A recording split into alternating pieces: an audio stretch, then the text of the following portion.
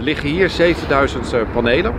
En dit is een van de zes locaties die we doen. Dit is de grootste locatie. In totaal leggen we op alle zes locaties 19.000 zonnepanelen neer. We staan hier achter het terrein van de rioolwaterzuivering van Waterschap Hollandse Delta. En dat ligt ingeklemd tussen een klein stukje natuurgebied en de A29. Dit was ooit bedoeld als reserveterrein voor de rioolwaterzuivering als het moest worden uitgebreid. Maar dat wordt nu niet verwacht. En het waterschap heeft ons gevraagd om hun te helpen om energie-neutraal te worden.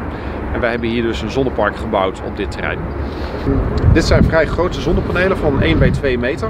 De zwarte vakjes, dat zijn de siliciumcellen. En die zetten het zonlicht met ongeveer 20% efficiëntie om in elektriciteit. Deze omvormen maakt van de gelijkspanning die via alle kabels van de zonnepanelen komt, wisselspanning.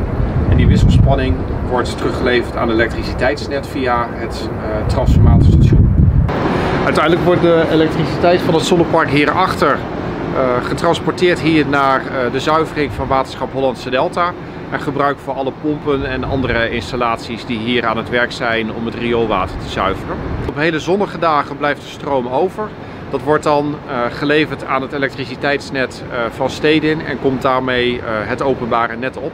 De verwachting is, is dat het paneel 25 tot 30 jaar meegaat. We zitten hier nu onder de panelen. En zoals je kunt zien blijft het hier onder de panelen nog redelijk licht en ook behoorlijk groen. En dat betekent dat het gras en andere planten hier blijven groeien.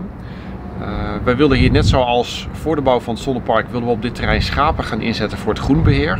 Zodat dat op een natuurlijke manier plaatsvindt. En we willen het terrein ook verder uh, duurzamer maken door te gaan inzaaien met een rijker bloemen- en plantenmengsel en ook bijenkasten op de hoek van het terrein neer te zetten.